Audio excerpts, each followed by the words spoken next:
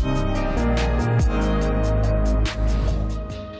everybody, welcome to another episode of Impact Theory. Today, I'm going to be going through the topic of anxiety.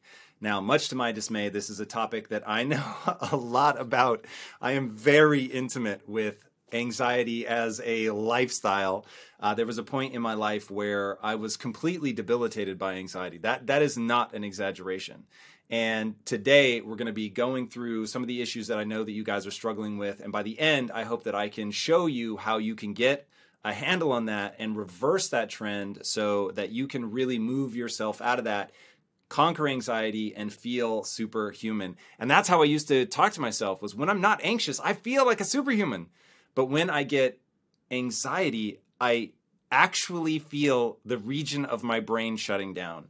And the more I researched anxiety, the more I realized that is literally what is happening. There is an area of your brain called the prefrontal cortex, which is responsible for your higher level cognition, your decision making, future planning, all of that good stuff. And it literally goes offline because blood is leaving that region of the brain and going to the centers of your brain that handle fight or flight.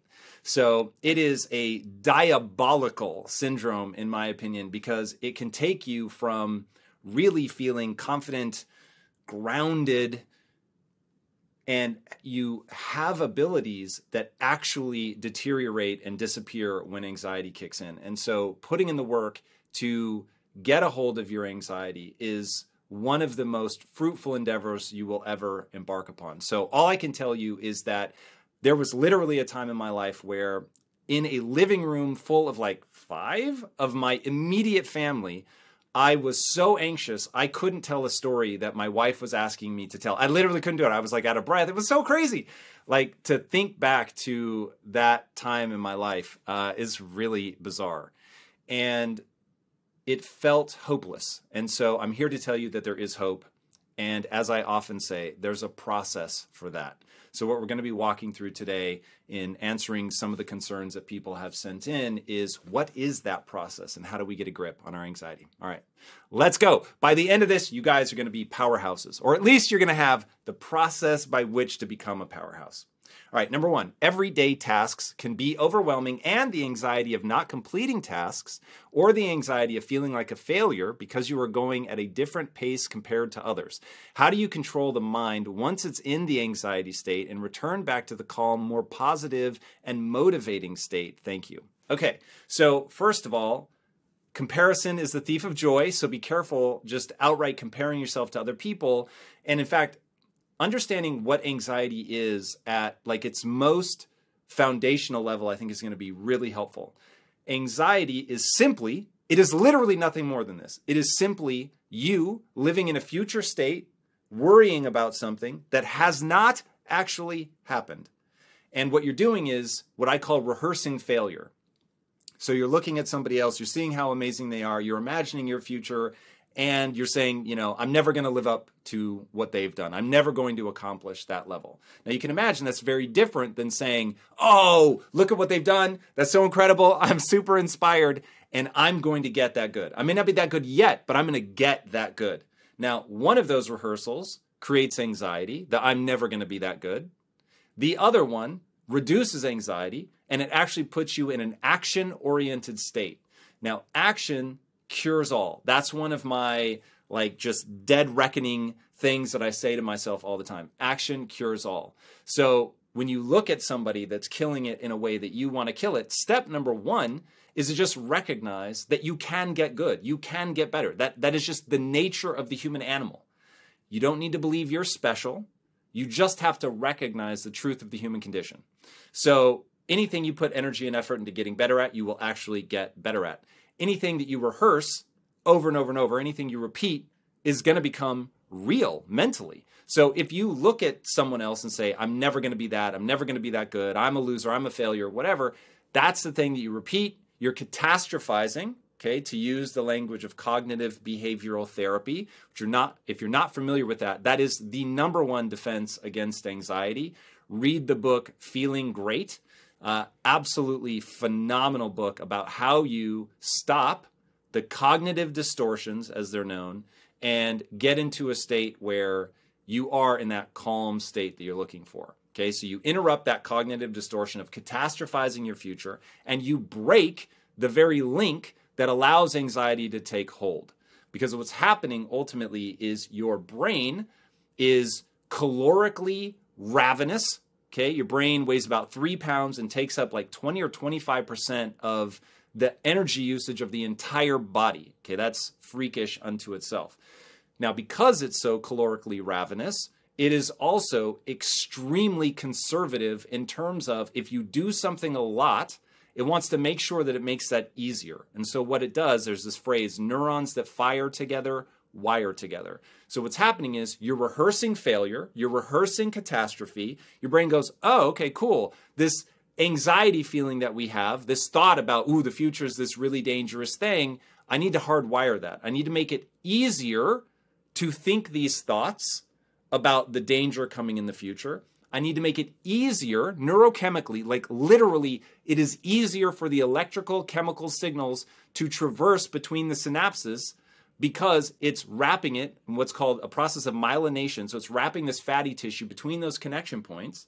Okay, that's the wire together part of neurons that fire together, wire together. So now you have this myelination, and the brain's like, ah, I'm so much more efficient at thinking and feeling this rehearsal of failure. And so what starts as a somewhat minor concern about not being as cool as the next person, not accomplishing as much as they do, not being as smart or as talented, whatever. And it becomes this full blown, I mean, this can really go into like full blown panic attack syndrome because you're repeating it. The more you feel it, the higher the anxiety. So it's a positive feedback loop. So I feel anxious about this, which makes me more anxious about this, which makes me think about it and worry about it more. And so now my brain is wiring it and the amplitude is going up. And so when you get into a positive feedback loop like that, that's destructive, now you're in a really dangerous place. So, step number one don't compare yourself in to others in a way other than I could become that with enough time and energy and effort put into it. And then number two, recognize that when you have a cognitive distortion like catastrophizing, I'll never be that good, right? You don't have evidence to support that. And even if you do, it does not serve you to spend time catastrophizing. So you are way better off, just from a neurochemical standpoint, you are way better off doing what's called a pattern interrupt, stopping yourself from thinking that. And instead of saying, so the nice simple pattern interrupt here, oh, I'm never going to be that good. Wait, pattern interrupt, I'm not that good yet, but I can get that good. Okay? And that becomes the way that you break that cycle. And the only way to undo that anxiety is to let it atrophy. Now, the fastest way to make something atrophy is to focus on something else. So now, the thing that we're going to replace that catastrophizing with, that's hardwiring into our brain, is we're going to replace it with the way the human animal works, I can get good at anything, right? So if it's what I call the only belief that matters. If I put time and attention into getting better at this thing, I will actually get better. That is the nature of the human animal. And so I would just repeat that. I can get good at anything. I can get good at anything.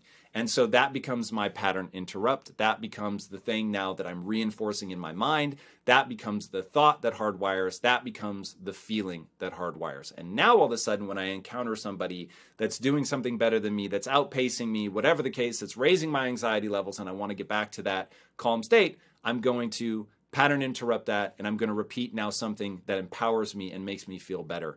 And by doing that, now I'm reinforcing something that makes me feel good, that makes me feel expansive versus contracting. So it makes me feel expansive, like I can tackle the challenge, and that's what I'm going to hardwire. That was a game changer for me. So I highly encourage you guys to put massive amounts of time and energy every single day to hardwiring that expansive thought and letting the contracting thoughts, the anxiety provoking thoughts, diminish over time just by atrophying because you don't allow yourself to think about them. All right, next. How do you deal with the physical effects of anxiety like adrenaline? I am so glad you asked. So, this is where meditation comes in. if you guys have been listening to me for a while, you've probably heard me say that meditation saved my life. And while I was never clinically depressed, I will say that the anxiety was getting so bad that if I were to carry that out another year or two years, I could see it really being um, very problematic. And the most distressing period of my life came about, I don't know, a year or two after I started meditating. So I just cannot stress enough how powerful it is to recognize what I call physiological hooks. So there are physiological hooks into the brain, into your neurochemistry, into adrenaline pumping, cortisol pumping, so that you can change your neurochemistry. And I'm obsessed with this idea. You can change your neurochemistry consciously.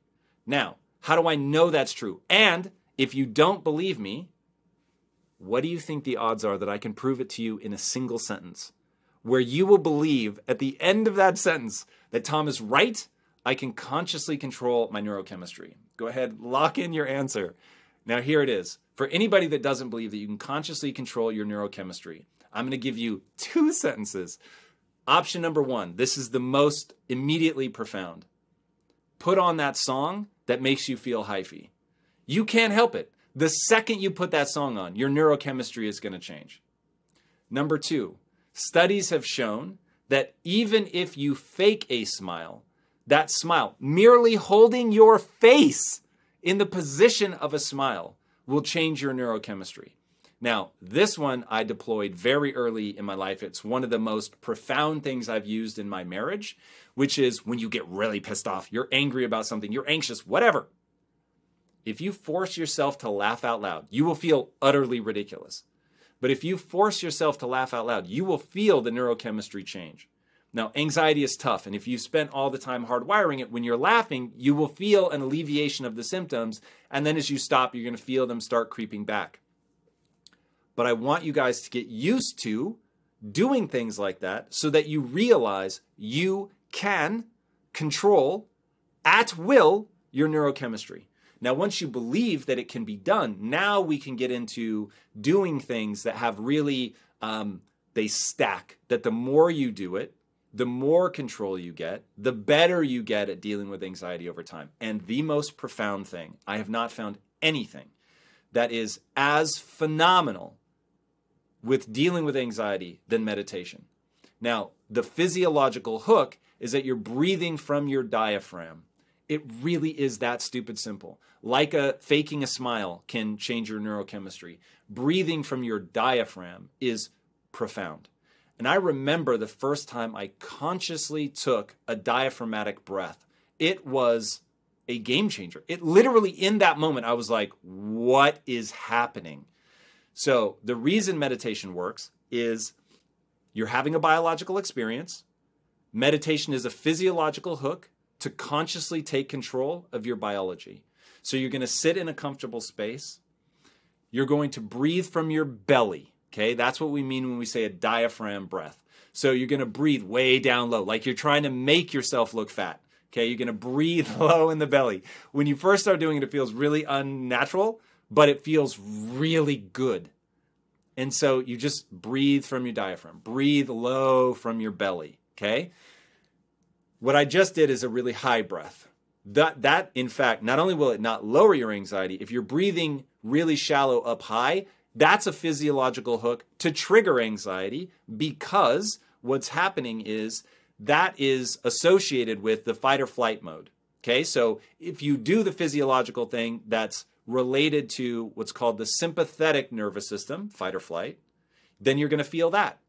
If you do the things related to the parasympathetic nervous system, rest and digest, then you're going to feel that and they exist on a seesaw. You cannot be both calm and anxious at the same time. You either anxious or you are calm.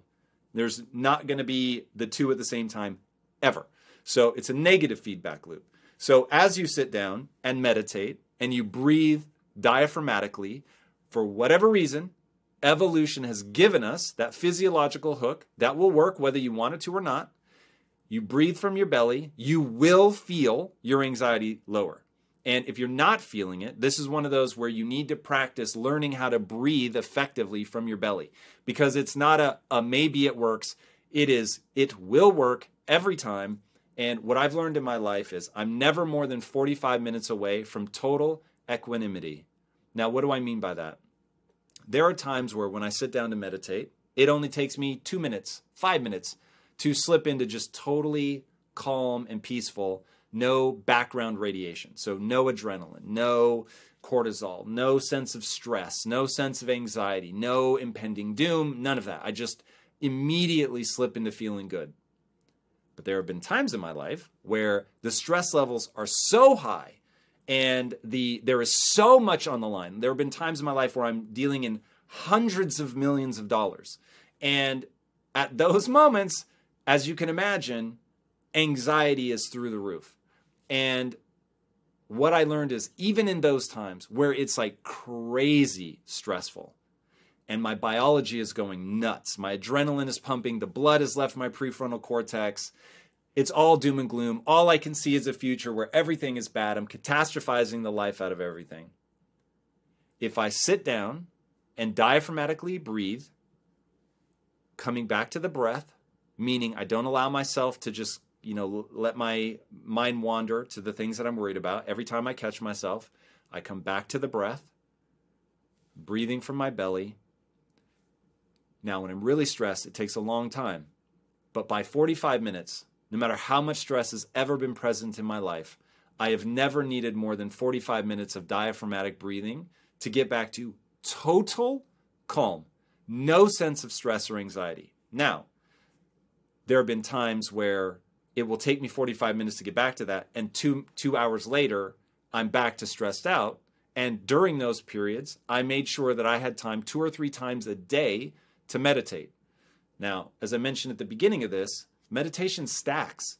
So the more you do it the better you get at it the less time it takes the more your brain actually begins to change. And there are regions of the brain that actually grow larger, more dense in response to meditation. In fact, you can scan somebody's brain, and if they are a lifetime meditator, you can actually tell the difference just by the structures of their brain if they're a long-time meditator or a non meditator. That's pretty extraordinary when you think that what meditation is doing is allowing you to get control of that biology, to move yourself from the sympathetic fight or flight to the parasympathetic rest and digest where you feel nice and calm. So there are many physiological hooks, but that is the prime one. So um, if you don't know how to meditate, go look up Mark Divine box breathing. It's a very simple method of meditation. It's where I started, um, and it was a game changer for me.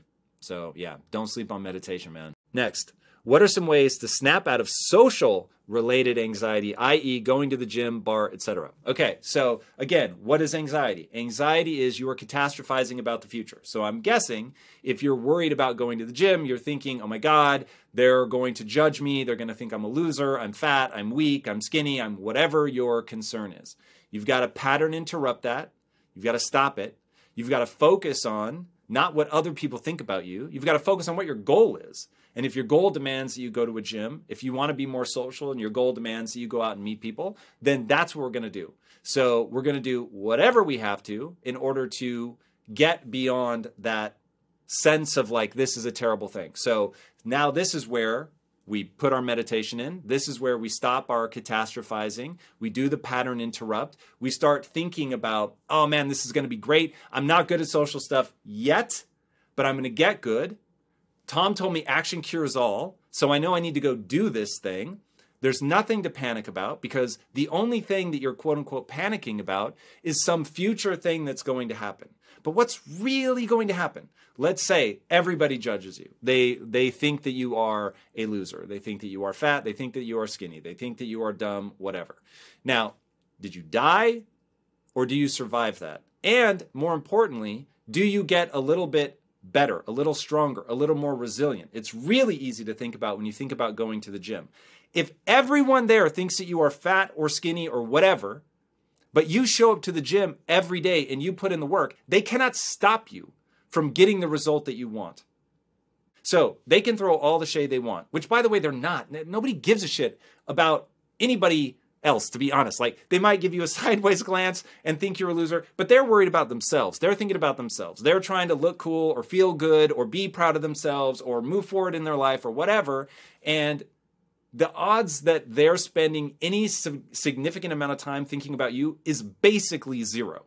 So the great news is, no matter what they're thinking about you, they cannot stop you from getting the result that you want when you show up and put in the work. So, focusing on getting a little bit better every day, that's really the goal. So, whatever your goal is, it mandates certain actions.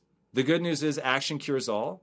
The even better news is that you can interrupt that escalation mentally with a pattern interrupt, with a focus on the fact that you can get better, reminding yourself of empowering statements instead of disempowering statements.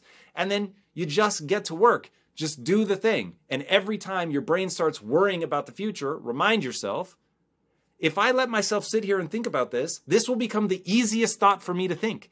This will become the easiest feeling for me to feel which means that when my brain walks into a gym or a bar or whatever, I will have trained it to trigger over into this negativity. And so that's why we want to use the empowering thoughts as mental jujitsu. So now crossing the threshold into the gym or to the bar or to the party or whatever is the habit loop trigger to say something empowering to ourselves on repeat. To remember to smile, to remember to breathe from our diaphragm, to remember to interrupt with our own just internal voice. I don't allow myself to think that. I literally say that to myself all the time. I don't allow that. I'm I am not going to think about that anymore. And I force myself to say in my head something empowering. It's so weird how effective that is. It just works. You will become whatever you repeat if you repeat, oh my God, I'm so anxious, this is terrible, whenever I go to a party, like, oh my God, I feel terrible, my anxiety spirals, I have panic attacks, then that's what's going to happen because you keep repeating it. And your brain goes, oh, okay, we think this thought a lot, we feel this feeling a lot, we need to reinforce it. So break that pattern. All right. Next, where does anxiety come from? Sometimes I feel it and I don't know why. All right, this is known as generalized anxiety disorder. Now, generalized anxiety means that you have so many triggers now for your anxiety. I'll give you one of mine. This was so bizarre to me. This was when I first thought, ooh, I don't think I'm nervous. I don't think I'm a nervous person. I think this has officially reached levels of anxiety. If I turned so I used to work in a parking garage where, you know, you would go up to floor five or whatever. And every day I would just turn right, turn right, turn right, turn right all the way down. But you could turn right or left. And I remember one day, for whatever reason, I turned left and I had this sudden spike of anxiety. And I was like, why the hell would I be anxious about turning left? And so that was when I realized, okay, whoa, whoa, whoa. Like this isn't even now attached to any sort of major thing. This is about me overextending, doing something new, going into the unknown. And I realized that that was the beginning of the anxiety for me. That because I'm not a born entrepreneur, getting into business was this incredibly anxiety provoking endeavor. The stakes were so high, I felt like I was constantly on stage, like it was nuts. And so I realized, oh my God, anytime I do something quote unquote out of my comfort zone, no matter how minor, my brain has now allowed itself to condition itself to be anxious about anything that sort of deviated from the norm. And when we boil it back down to what is anxiety? Anxiety is living in the future and worrying about it. Okay? You're mentally projecting into the future and you are worried about it. And you allow yourself, yes, allow yourself to worry. And it feels like, it feels like you're doing yourself a solid because you're thinking through all the things that could go wrong. So you want to be ready. I remember I used to, okay, I'm going to get in, you know, this situation in a meeting or whatever, and at some point the eyes are going to turn to me. So what do I do if my heart starts racing and I'm getting panicky? What do I do about that? And I realized that I would sit there and be like, okay, I'm gonna, you know, maybe I can say that I've got a stomach ache or a headache or something, and I'll find a way out of the room. all I was doing in those moments was rehearsing it going wrong, that I was going to get into the situation and need an exit. And then I realized, you know, a better approach, because all my planning to make sure that I'm ready is the thing that's making me anxious. Okay? I, I, I, want that to hit home. That is the thing that's making you anxious, is that you're thinking about you might get anxious. Like I remember when I was young and I first started experiencing nerves. And I remember thinking, the only thing that I'm nervous about is other people realizing that I'm nervous. Like if I knew that my nerves were invisible, I wouldn't worry about it. But it was always that sense of like, oh, is my face going to turn red? Am I going to sound out of breath? Is my voice going to quiver? And worrying about it was the very thing that made it happen. And so I began to realize a big part of getting out of this anxiety death loop was going to be to never again rehearse failure. And so I started saying to myself, let failure surprise you. So when I succeed, I'm never surprised because I rehearsed the shit out of success. I and think about Olympic athletes. They talk about visualization, right? I would visualize this is going to go well. I'm going to kill it. I would remember the times, even when there were very few of them. I would remember the times where, A, this went really well, it went exactly like I thought. Oftentimes it would be because I would get c- caught off guard. And so I wouldn't have time to worry about it. Somebody would just ask me something, I would answer, and I'd be like, oh my God, the answer was actually really good. And I realized, okay, if I don't know what's coming, I can just get into the flow. So I'm like, this isn't even a skill set problem. This is a I'm worried about not performing well problem. And so once you understand all anxiety is is a physiological response to you worrying about the future. So your brain goes, "Whoa, fight or flight, we're in it. This is dangerous." And it has ancient mechanisms for dealing with that, and those ancient mechanisms take over. And so I stopped rehearsing failure. I started rehearsing success, and I just said, "I'm going to let failure take me totally by surprise if it ever happens because I'm never going to allow myself to think about it. And so now, anytime I find myself like, ooh, that could be like a risky situation, I say to myself, no, no, no. This is an opportunity for me to shine. This is going to be amazing. I'm going to kill it. I'm going to get out there. I'm prepared. I was preparing myself. You know that? You're ready to rock and roll? Let's do the damn thing. And because that's what I start repeating in my head, now when I think about something like that, I'm not nervous. I've rehearsed that feeling good. I say those things to myself in an elevated state, so I'm excited about them. And so now all of a sudden, I'm rehearsing this feeling good, I'm rehearsing it being fun, and so that's what comes to mind when I enter what used to be a very stressful situation. All right. Since anxiety is always there, what is one way we can use anxiety to our benefit? All right, so this is actually a really interesting question. So, any emotion, anxiety, fear, anger, rage, um, all of them actually serve an evolutionary purpose.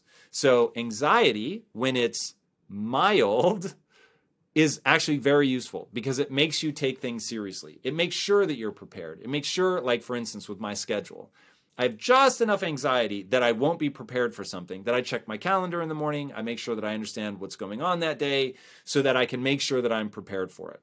And my whole sort of modus operandi in life is to be prepared for things, to be well researched, to you know study, to um, rehearse that success, all of that. And that actually is born out of that just little bit of anxiety of like, hey, I could really do something special here. This could be amazing, but I need to take it seriously.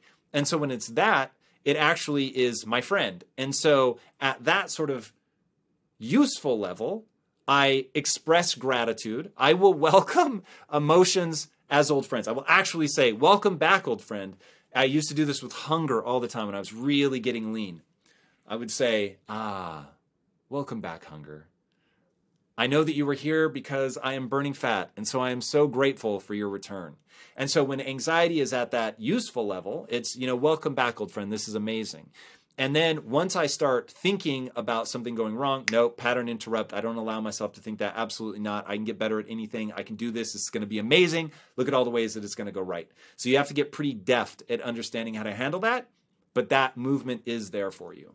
So just keep that in mind. All right.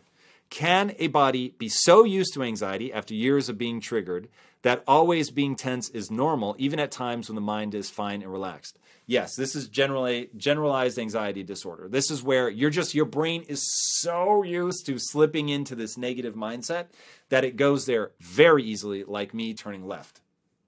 And if you recognize that, okay, I understand how this works. This is through repetition. This was me worrying about the future, worrying, worrying, worrying, worrying, worrying, catastrophizing, having all these essentially lies that I'm telling myself. I'm never going to be that good. Uh, this is going to be terrible. I'm never going to work again. Whatever the you know list. I forget how many cognitive distortions are, but there's something like 15, and one of them is fortune telling. Right? Oh man, I'm going to go in there. This is going to be terrible. They're going to eat me alive. Okay, that's fortune telling. You don't know that. Go in, do your best. That's all that you can ask of yourself, right? If you've prepared for it and you put in the time and the energy and you go in and you fail, so be it. And here's the great news failure is the most information rich data stream in the world. This is why Tom says that action cures all. You have to go out there and figure it out. As you're engaging with something, especially when you fail, you get all this information back. And so when you've got this information back, now you can leverage that to get a little bit better. And since one of the OG pattern interrupts is I can get better at anything, then you're going to say, oh, cool, I've got this information. I can now get better. I can now progress. But you have to be willing to go through that process so that you can begin to let things atrophy, the anxiety atrophy, because if you're, you know, in your 20s and you've spent the last 10 years looping on these things that make you anxious or if you're in your 30s or 40s or 50s and you've got decades behind you of putting in that work to hardwire the stuff, one, no, the way the brain works, just by default, you are not special. The way your brain works, the human brain, you can unwire that by putting your time and energy into repeating things about getting better, about the ability to improve. And if you just spend your time on that, then you'll be just fine. But if you allow yourself to keep investing in the anxiety, not doing the pattern interrupts, remember, read the book Feeling Great by David D. Burns. Okay? Read that book.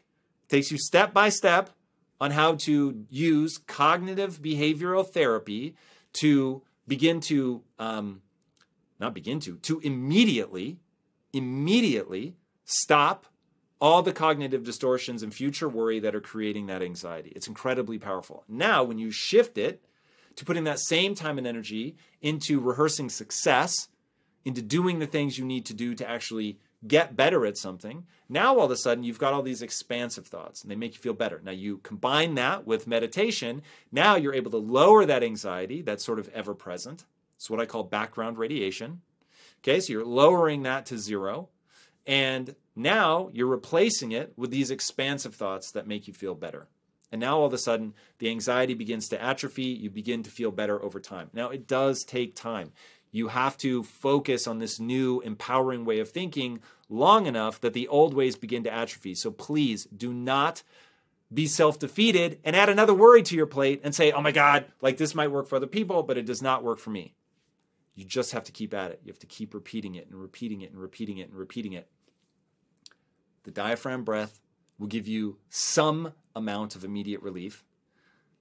Every time I do that, even right now, it just feels good. So learn to diaphragm breathe and then keep repeating empowering notions, pattern interrupting negative emotions, using things that used to be a, an anxiety trigger now as a habit loop trigger to your new habit, which is to think an empowering thought, to take an empowering action, to do something like breathe from your diaphragm, the physiological hooks, so that you can master your anxiety. And that ultimately is what we're talking about. You can do it. I know because I've put in the work for a very long time. Now, it's something I think about frequently. It's not something that, at least in my experience, that, oh, now I don't have to think about it. I certainly don't have the debilitating anxiety that I did. Um, but by being just on top of thinking the empowering things and doing the meditation and all of that, my life has completely changed. So, guys, gals, put in the work. You will get the result. I promise. You can master your anxiety. All right, my friends, I hope this added value to you. If it did, make sure that you smash the like button, make sure that you are subscribed, and that you don't miss a thing. And until next time, my friends, be legendary. Take care. Hey, everybody, thank you so much for watching. If you haven't already, be sure to smash that subscribe button and hit the bell notification so you never miss a thing. Until next time, my friends, be legendary. Take care.